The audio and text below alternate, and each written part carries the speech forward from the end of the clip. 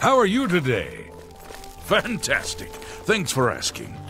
Apparently, Well met.